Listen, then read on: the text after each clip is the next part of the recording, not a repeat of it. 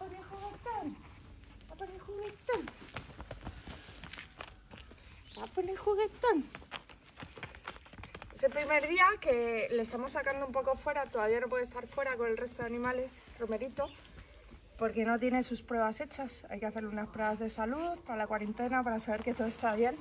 Y la verdad que es súper guay, porque bueno, eh, cuando estuve en el hospital pensaban que estaba ciego, el día que lo ingresaron y el día siguiente, y, y la verdad que aquí fuera bastante bien no sabemos si ve todo lo que tiene que ver o si ve luces y sombras, pero, o sea, responde bien a los estímulos visuales y tal. Y, muy bien, está muy contento. Está muy contento. ¿Jugamos un poquito? Como sabéis, fijaros cómo tiene esto. Le cortaron la oreja y el rabo, lo cual a mí me parece súper macabro, porque como sabéis es algo súper taurino. Y él es un bebé, o sea, cuando se lo hicieron un bebé recién nacido, es como o sea, no quiero ni saber por qué, ni, o sea, evidentemente no se sabe quién fue ni el motivo, pero, pero bastante macabro todo. Como le cortaron la colita, pues la tilla va así arriba. Un perrito. ¿Jugamos un poco? Ven, mira.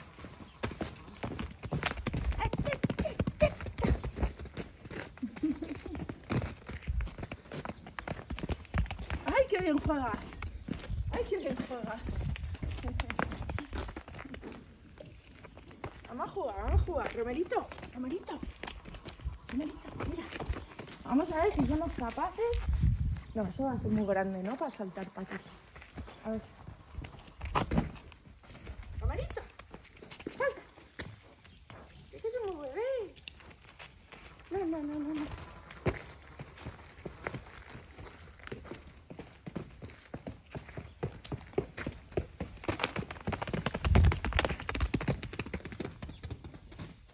Romerito.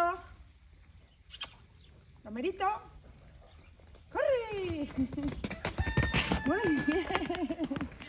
Pero bueno. Qué control más grande. Mira qué contento. Así.